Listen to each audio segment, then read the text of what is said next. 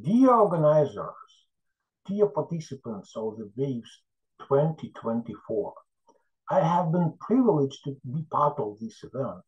And let me introduce my topic, which is Vedic mean to solve any conflict or personal trouble, Rigvedic Mitra.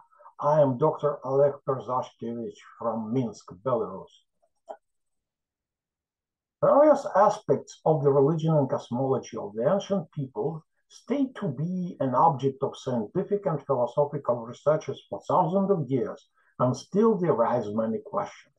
The reason for this longevity probably lies out in the features of those sources that make the world cultural heritage. In the present case, we are talking about one of the ancient Indian sacred books of the Vedas, particularly about the Rig Veda. Regarding the topic of this conference, here we put only one of the gods mentioned there under our review. The one is Mitra, whose name sometimes can be used as the common word for a friend or an assistant. If the Mitanni texts definitely indicate the presence of Mitra, and thus the people who believed in him, then both the Rigveda and the Avesta provide incomparably more material. Mitra was obviously common god of all ancient peoples who had considered themselves as Aryans, as evidenced by the presence of that name in the Rig Veda, in Mitanni text, and in Avesta. Furthermore, most of contemporary researchers agree that at least at some period, Mitra was a solar deity. Among the Rigvedic Aryans, Mitra usually appeared as a paired deity along with Varuna. In the present case, the dual appearance makes a separate case because, firstly, paired deities were typical for the Rigveda as proved by many researchers, and secondly, we have no reason to believe that in Mitra-Varuna pair, there was no overlap of functions and symbolism of one god on the other. This is why the present paper is interested in Mitra alone in his Rigvedic presentation only. As an independent single deity, Mitra obtained only one hymn in the Rigveda, the 59th hymn of the third mandala. However, before proceeding with the analysis of this text, it seems appropriate to put ahead a few our preliminary considerations. Several etymologies have been proposed for the word mitra. Mitra comes from the root mi, with the meaning you can see here. Mitra comes from the root nimida, the love, the show affection. Mitra comes from the root mid, you can see the meaning. And mitra comes from two roots, midi and dru. Whatever you think about it, there are the versions that can be proposed, and they were proposed with the academic uh, scholars. The presenter considers that semantically mitra is the name of the corresponding action formed with the help of suffix tra. In this case, it forms a neutral name designed by the root specified or the one who performs this action. In this case, it forms a masculine name, which makes our particular interest here. Therefore, the second case, I mean the masculine case, for mitra can mean one, the one who protects from destruction, the one who loves or demonstrates his affection, the one who exudes love, the one who feels with something while he's moving. Most of the recent experts adhere to the first opinion as the most probable, including the author of the present paper, sometimes tracing the Sanskrit verbal root me to the common Indo-European construction need to exchange to change. Thus, it gives us some reason to see his original protective, protective function here, at least interchanging. Considering the above, let us move directly to our textual analysis uh, of the only Vedic hymn dedicated directly to Mitra, uh, which we have already mentioned. Means Rigveda 359.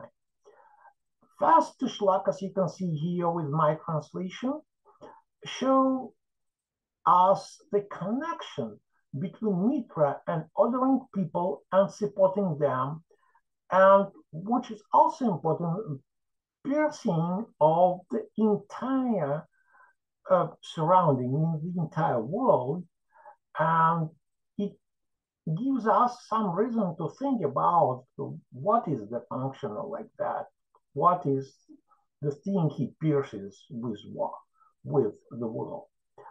The second example is um, the function of Mitra, who is able to make people invincible, unkillable, uh, without hardships. And uh, well, this means that he is a really helping subject. Uh, the next two shlokas again show us that he is deprived of suffering, and it means that it was important for those who are um, addressing to him, who were addressing to him with this text, with this hymn. And uh, here we also see his connection to Adityas uh, when we're talking about his origin. And this gives us first good evidence that he was connected to the light. And the fourth shloka we have here again demonstrates us the uh, capacity of Mitra, his facility to give people favor, happiness, and joy. Again, uh, the next two shlokas show us that he ordering, he was ordering people, he was Aditya, means again came from Aditya uh, and means that it was not occasional thing. And here we also uh, see that he helps people, he encourages them, and he's very friendly.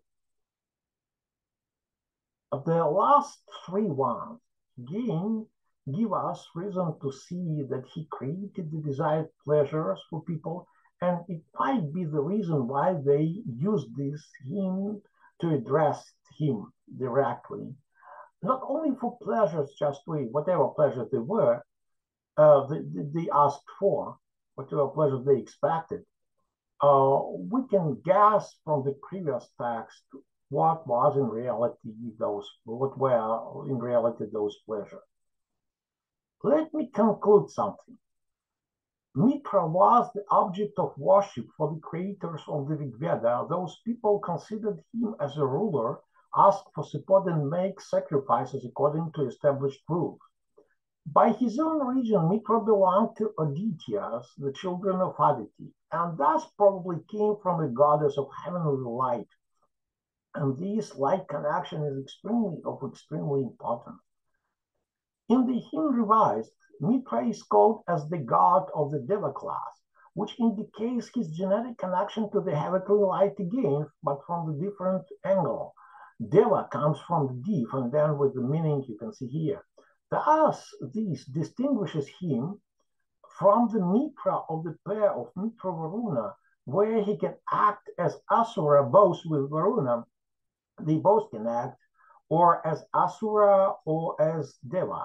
But Anyway, Asura class is different from Deva, and that's why the Dvandva, so-called the pair, is not the case we should um, regard when we're talking about Mitra and Rigveda himself. Mitra acts as Dyumna here again, the brilliance, which again indicates his light essence. This is a sad evidence. Mitra's effectiveness to take any trouble and conflict off might hold its function in his luminosity and universal presence.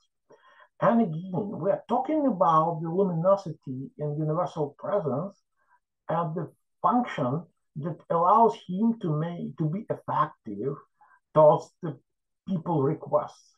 Mitra's multiple mentions and invocations is putting the people to order, as bringing them to wellness and prosperity, as taking away of troubles and problems is quite evident in this hymn it gives us all reasons to say that addressing to Mitra was those people's effective mean to solve any personal conflict or trouble. No, they relied to Mitra to do it, and they were sure that he was he would be able to do it. Let me say uh, something as the final conclusion. Mitra ex exuded light or radiance, the bearer of which he had been. For those people, that was a sign of cosmological creativity and a positive principle. The immediate brilliance radiance can well be considered as the connecting or ordering principle, which is one of the options for the well-known creation of cosmos from chaos with the help of light. Mitra watched over people, helped them, and put them in order. It was precisely the quality that founded the basis of the, for the once widespread understanding of the Rigvedic word Mitra not as the name of God, but as the common notion denoting the concept of a friend. And again, when we are talking about the light connection, means that the friend and the light uh, connect, are connected to each other. It is obvious that a friend or a helper was an indication of some actually recognized functions of Mitra, but it was a further extension of his original meaning of the name regarding the light brings wellness.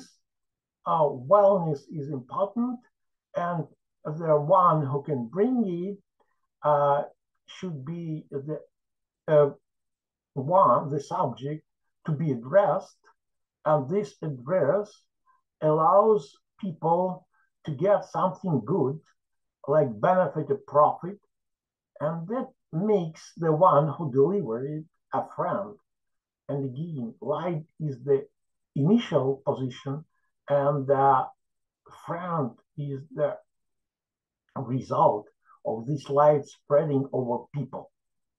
Thank you very much and wish you all the best.